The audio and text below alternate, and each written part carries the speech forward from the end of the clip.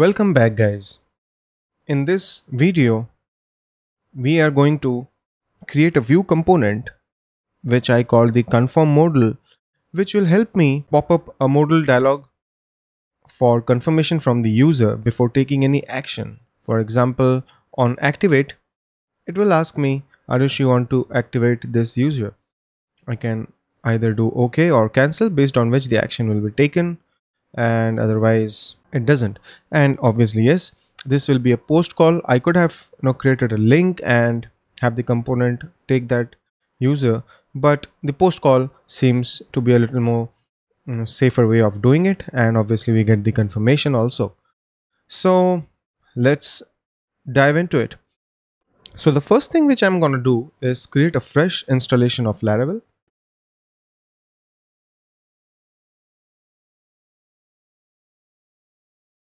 Once this is installed, I'll quickly come back. So we have the new package. Let's go inside it and I'll open it in Sublime. All right. Um, for database, we are going to use SQLite. And let me then touch database, database dot SQLite. Okay. And then what are the other configurations that we need? I'll go into views welcome.php. Let's clean this up a bit. I don't need this and don't need this as well in here we will have our application running okay so this is as far as our welcome blade goes. And in assets js app.js I'll boot this up a little different in a different way. So first thing is import and we will import Vue from vue. We will also require axios so yarn add axios and we will also need the Vue axios. So we'll add that as well. Quick. Okay. Now once we come here we need to do import axios. And okay. And i mean most of the things you will already find in the you know example. Just to give you an idea this is you know the source code where inside resources assets js components I, I will have that entire co code which is the you know, confirm modal component.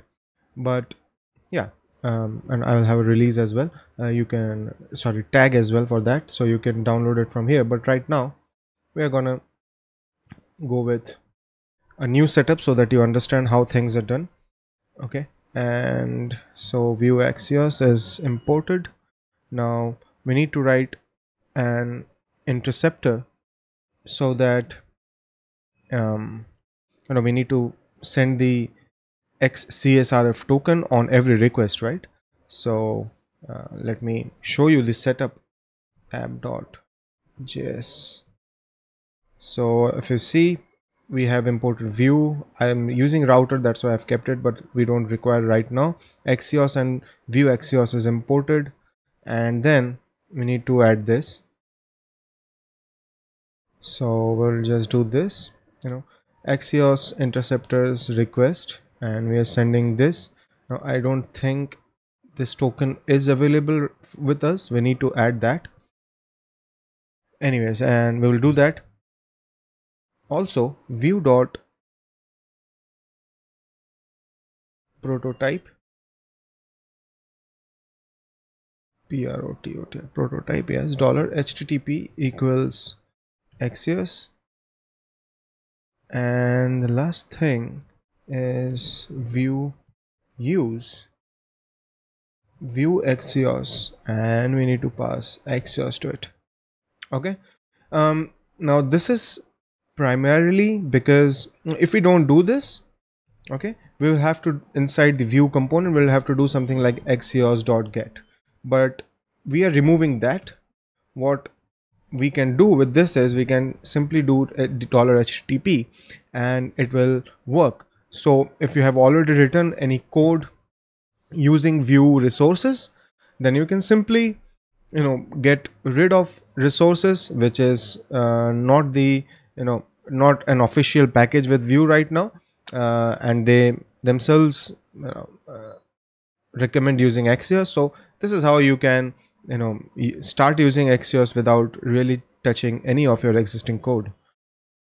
Okay um, now for this part we need to add the you know code this script in here. So i'll just quickly go to header.blade this is the code i'm just copy pasting um, you know things which are already done from my side uh, just to give you an idea.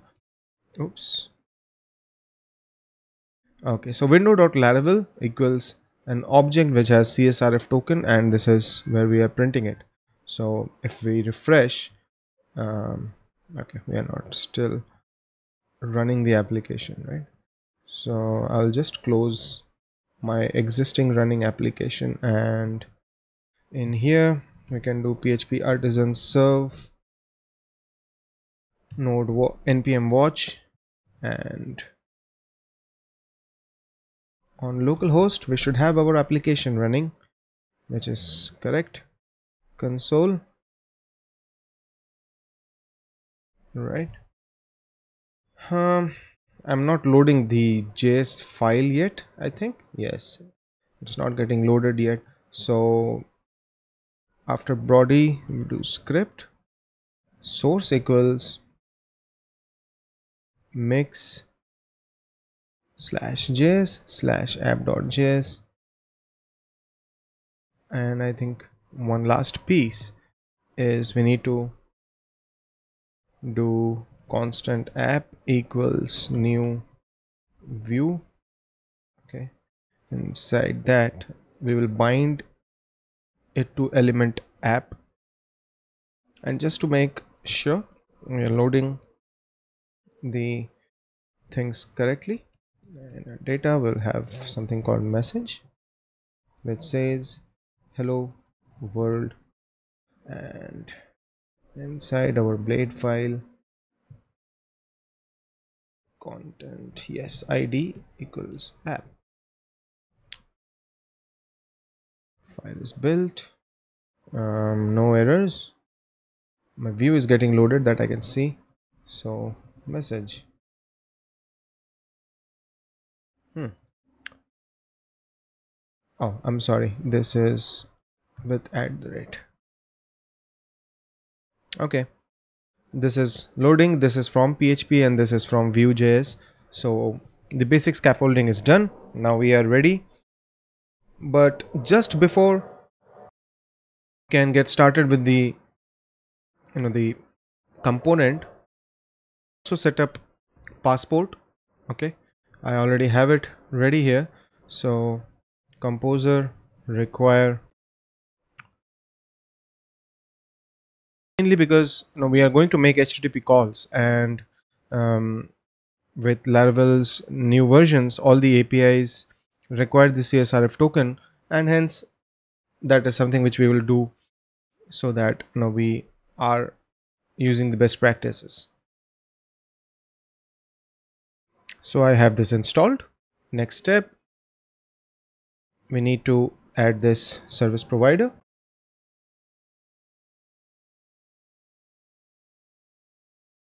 oh my god someone has started with his drill machine.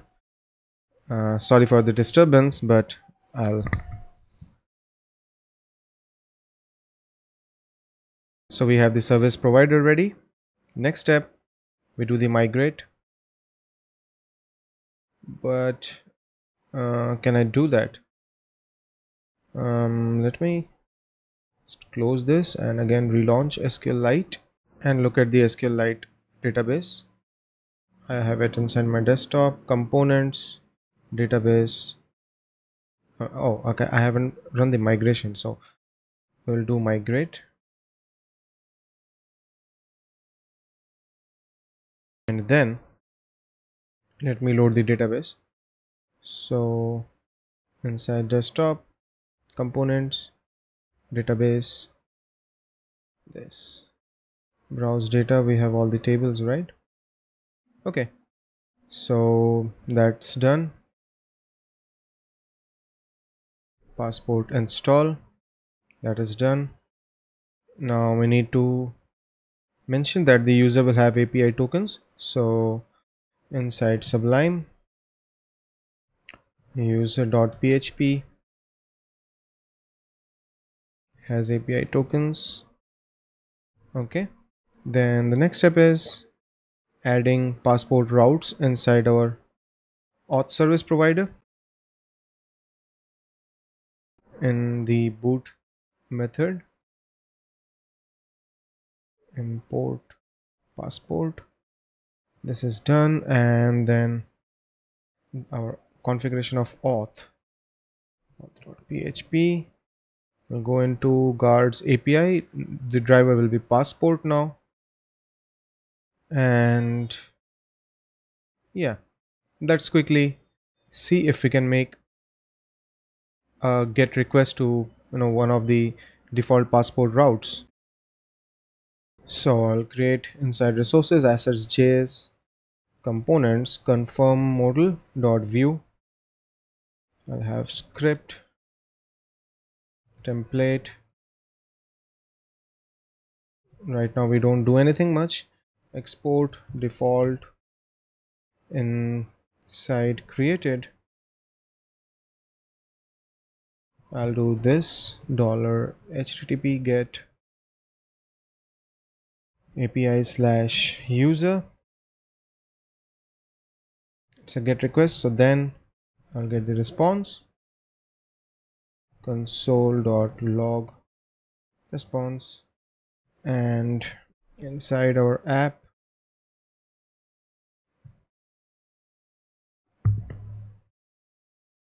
we will first need to import the component. Import confirm modal from components slash confirm modal okay and Vue dot component.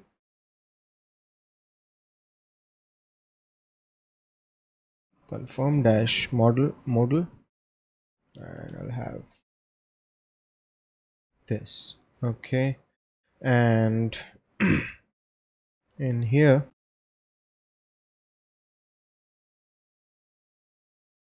hmm build okay it's done.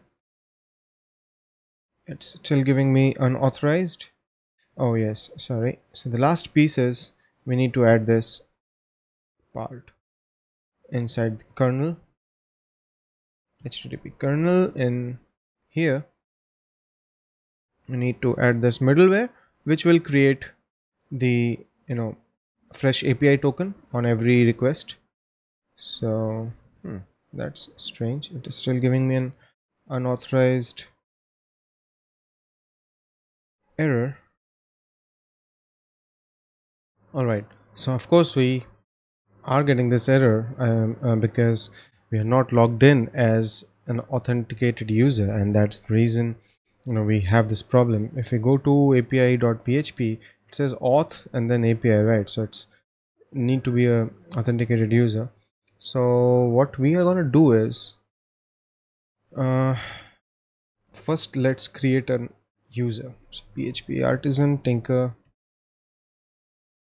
app user or rather I already have it I think yes user one user one at gmail.com so I'll create that.